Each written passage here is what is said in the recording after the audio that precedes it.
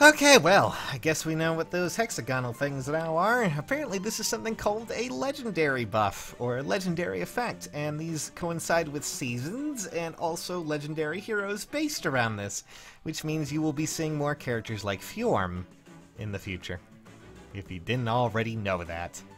So, uh, yeah, grants, al- grants allies this legendary effect during water season if the water blessings have been conferred and if this unit enters battle with them. Um, for those who don't know, this is underneath um, advanced growth, and there's uh, confer blessings. And of course, right now we have all the blessings that are available: fire, water, wind, and I believe, um, eh, I forget what the other one was.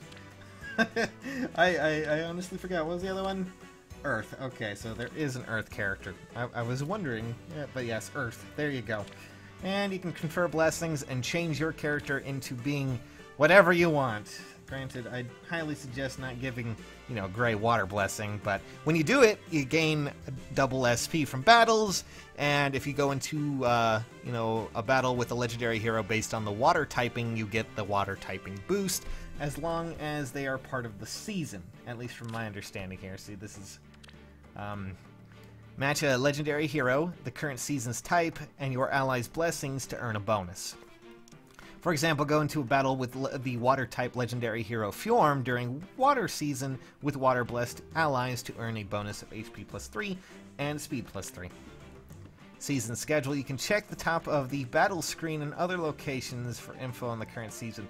That I have not seen yet. I, I'm not sure where that is. Uh, maybe it's not active yet. I'm not too certain because I've looked, and maybe I'm just stupid. But uh, it might just be that I'm stupid because I don't really see. Like the one screenshot that I saw of it, it was right up here, but I don't really see it right now. Oh well. I mean, that's a pretty interesting thing. Double SP for those characters that you do it, and apparently Fjorm always has double SP in case you didn't know. So, She's a legendary hero, folks. That's just what they mean.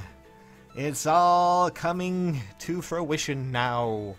I'm gonna go and post the story stuff that we have as well, and this one's gonna go up before that.